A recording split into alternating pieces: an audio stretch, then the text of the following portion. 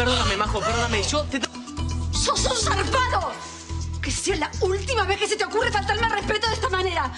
O si no voy y se lo digo a tu papá, ¿me escuchaste?